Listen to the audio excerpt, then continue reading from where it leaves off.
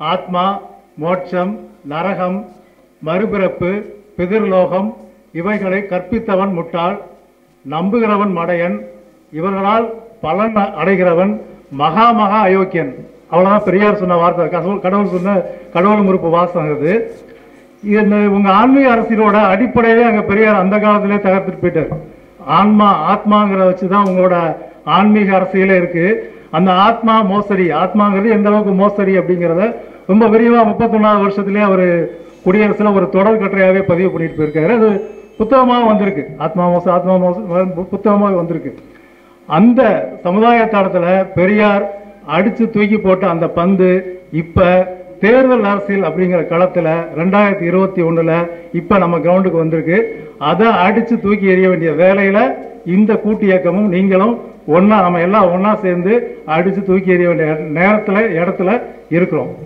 இந்த ஆத்மா அப்படிங்கிறத பத்தி பெரியார் சொன்ன விளக்கங்கள் இல்ல மதவாதிகள் சொன்ன விளக்கங்கள் எல்லாமே நிறைய இருக்கு. குறிப்பா முக்கிய ரொம்ப ஷார்ட்டா சொல்லணும்னா எல்லாம் அவன் செயல். அவ்வளவுதான் அவன் சொல்ற ஆன்மீகம். வேற ஒண்ணும் கிடையாது. ஆன்மீகம் ஆன்மா மீண்டும் மீண்டும் எழுந்து உலகத்தில் இருக்க இன்ப துன்பங்களை அனுபவிச்சு கஷ்டப்பட்டு உலகே மாயம் வாழ்வே மாயம் புரிஞ்சுக்கிட்டு எல்லாம் அவன் செயல் அப்படின்னு கடவுளோட காலில் விழுகிறது தான் ஆன்மீக அரசியல். இங்கே தமிழ்நாட்டில் அதுக்கு எந்த சூழலும் இடம் இல்லை. இங்க வேணா வேற வேற எந்த மனிதர்கள் காலில் வேணா விழுந்து ஆட்சியை பிடிப்பாங்க தயாராக இருப்பாங்களே ஒழிய கடவுள் காலில் விழுந்து எல்லாம் அவன் சாயல்னு அவன் சொல்லி காலில் விழுந்து ஒரு உருவமோ உயிரோ இல்லாத ஒரு ஒரு ஒண்ணுமே இல்லாத ஒரு விஷயத்தை காலில் விழுந்து அதுதான் எல்லாத்தையும் செய்யுது அப்படிங்கிற ஒரு தத்துவம் அந்த ஒரு ஆன்மீக அரசியல் அப்படிங்கிறது தமிழ்நாட்டில் இன்றைக்கும் இல்லை என்னைக்கு இல்லை. ஆனால் இனிமேலும் வரப்போகிறதில்ல ஆனால் இவங்க சொல்ற ஆன்மீக அரசியல் எப்படிப்பட்டது அப்படிங்கிறதையும் பார்க்கலாம். இவங்க சொல்கிற ஆன்மீக அரசு இங்கே இனிமேல் கொண்டு வர போகிறேன் அப்படின்னு சொல்கிறாங்க ஆனால் நீங்கள் ஒன்றும் கொண்டு வர வேண்டாம். அது ஏற்கனவே இருக்குது இப்போ இப்போ இந்தியா முழுக்க இருக்கிறது உங்கள் ஆன்மீக அரசியல் தான். அதுதான் இருக்குது இப்போ அதே சமயத்தில் இவங்க புது பொருள்லாம் சொல்கிறாங்க ஆன்மாவுக்கு உண்மையான பொருள் வேறு. அது பேராசிரியர்கள்லாம் பேசுவாங்க. ஆனால் இவங்க இப்போ புதுசு புதுசாக பொருள் சொல்கிறான் அன்பு கருணை இரக்கம் இதெல்லாம் சொல்கிறான் இந்த மாதிரி பாசம் நேசம் இதெல்லாம் சொல்கிறான் புதுசு புதுசாக சொல்கிறான் இதெல்லாம் மீனிங் சொல்லிட்டு சரி அந்த மீனிங் கிடையாது. உங்களோட இப்ப நடக்கிற இந்தியாவில் நடக்கிற உங்களோட ஆண்- அந்த உங்க ஆன்மீக அரசியல் ஆன்மீக ஆட்சி அந்த மாதிரி நடக்குதா அப்படின்னா இப்ப சமீபத்தில் நடந்துட்டு இருக்க சில செய்திகளே போதும்.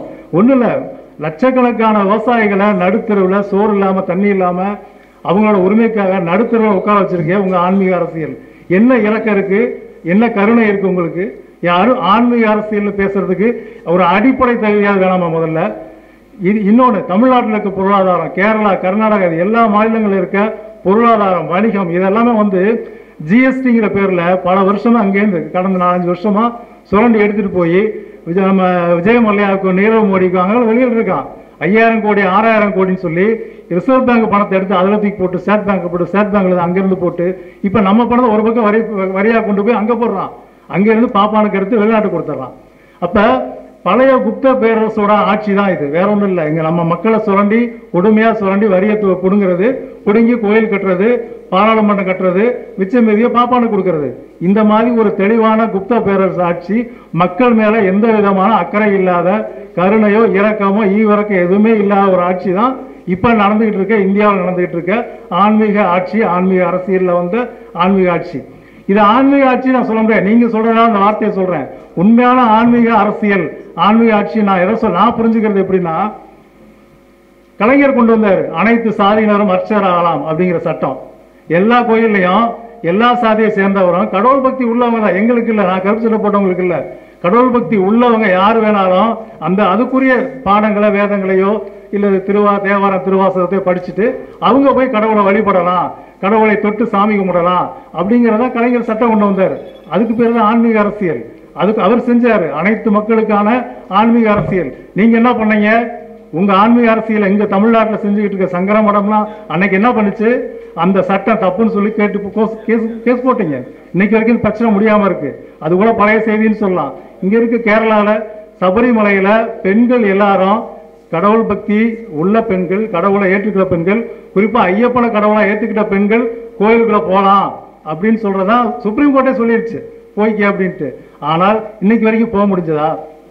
போக முடியல. இதை எதிர்த்து நிற்கிறது யாரு? ஓ, நீ ஆன்மீக அரசியல் பேசுற நீங்க தான் நிக்கிறீங்க. சரி அதை விட விடும் இப்ப ரெண்டு மூணு நாளைக்கு ஒரு செய்தி தினமணி தின ஹிந்து வந்த செய்தி. கொரோனா நிவாரண நிதிக்காக தமிழ்நாடு அரசாங்கம் கேரளா அரசாங்கம் எல்லாமே கேரளா அரசாங்கம் ஐம்பது கோடி ரூபா எடுக்கிறாங்க. ஐம்பது கோடி ரூபா தேவசம் போர்டுல இருந்து பணம் எடுத்திருக்காங்க. தேவசம் போர்ட்ல இருந்து பணம் எடுத்தது தப்புன்னு கேஸ் போட்டிருக்காங்க. அது மாதிரி தமிழ்நாடு அரசாங்கம் ஒரு ஐம்பது கோடி எடுத்திருக்காங்க. இங்கே அறநிலையத்துறையிலேருந்து எடுக்க எடுக்கிறாங்க. அது எடுக்கிற தப்புன்னு இந்து மணி கேஸ் போடுது. அப்போ சாதாரண மக்களுக்கு கோயிலேருந்து வர கடவுள் பக்தி மூலம் கிடைக்கும் இவங்க போட்ட பணம் தானே வரி பணம் தான் இவங்க போட்ட உண்டியல் பணம் தான் காணிக்க பணம் தாங்க. நம்ம போடுற நம்ம எங்கள் குடும்பத்தை சேர்ந்தவங்க போடுற அந்த உண்டியல் பணத்தை எடுத்து இங்கே இருக்க நலத்திட்டங்களுக்கு கொரோனா மாதிரியே ஒரு ஒரு பேரிடர் காலத்தில் வந்து மக்களுக்கு அந்த நிதியை பயன்படுத்தலான்னு ரெண்டு அரசாங்கம் செய்யுது.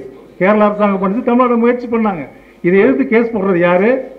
உங்க இந்து முன்னணி. ஆன்மீக அரசியலை யார் இங்க பேசுறீங்களோ நீங்க தான் பண்றீங்க. இங்க கோயிலுக்குள்ள யாரும் வரக்கூடாது. கோயில் சொத்தை யாரும் எடுக்கக்கூடாது. பாப்பான தவிர யாரும் எடுக்கக்கூடாது. பாப்பான தவிர யாரும் உள்ள வரக்கூடாது. சொல்றது நீங்க தான். அப்ப ஆன்மீக அரசியல் ஆன்மீக அரசியல் நீங்க சொல்றது என்னது? வெளிப்படையான பச்சையான பார்ப்பன அரசியல். அதுக்கே சும்மா ஆன்மீக அரசியல் முலாம் பூசுறீங்க. இது ஒன்றும் கிடையாது. ஆயிரத்தி எழுநூத்தி ஐம்பத்தி இதான் பண்ணாங்க. இந்திய அரசியல் அப்படிங்கிற வார்த்தையை கொண்டு வந்தாங்க. நம்மளாம் ஏமாந்தா இருந்தோம். அன்னைக்கு வரைக்கும் ஏமாந்து தான் இருக்கோம்.